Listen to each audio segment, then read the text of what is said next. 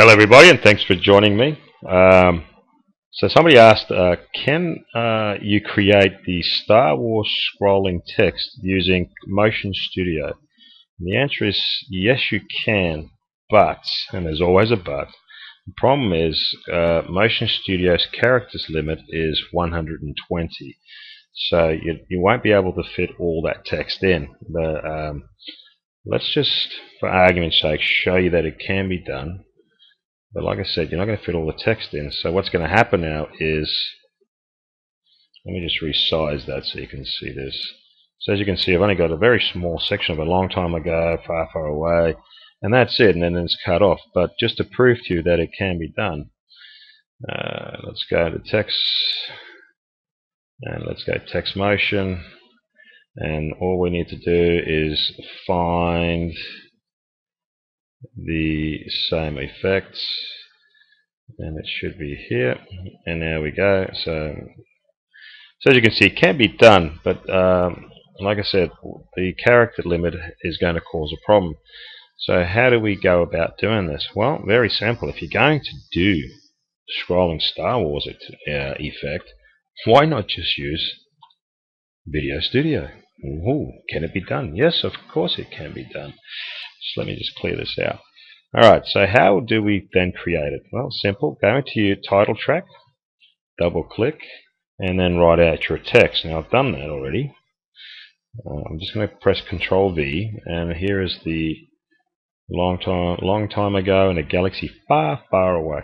So I've got all that. Now, if you're going to do it, obviously you're going to make it neater. You're going to justify the, the edges, and nah, I can't be bothered with that because I'm just trying to show you how to get the effect right. Now, also, um, AB if you're watching, uh, you requested how do you make it scroll faster or slower? Well, the duration depends entirely on the length of your clip.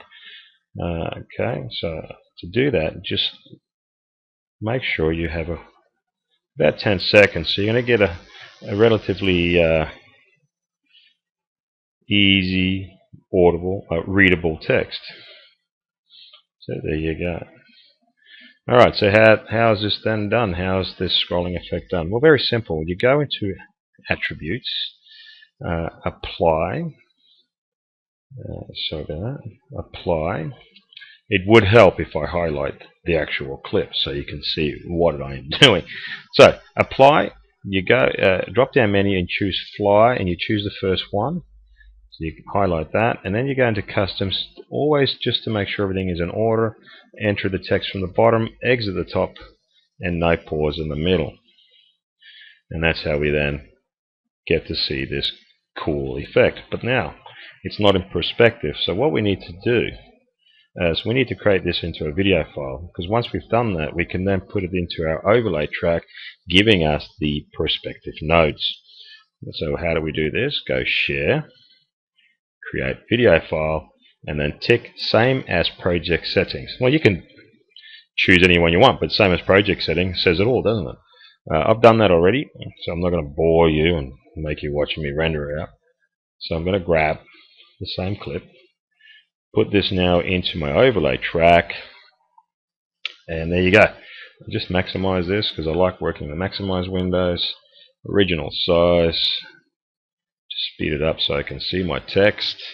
And I'm just going to adjust my green perspective node so I'm going to bring it into the middle. Same with this one. And you will see instantly we now have the Star Wars effect.